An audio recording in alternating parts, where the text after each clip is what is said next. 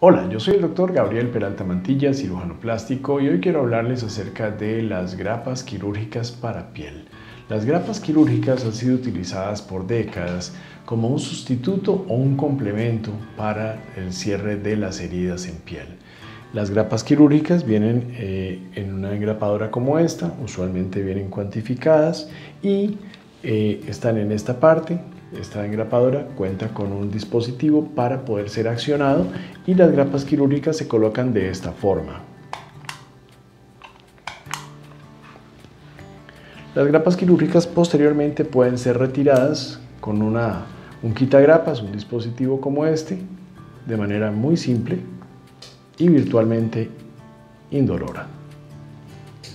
Las grapas quirúrgicas para piel las empleo en algunas cirugías como un complemento específicamente en cirugías de reducción y levantamiento mamario, así como también en las abdominoplastías.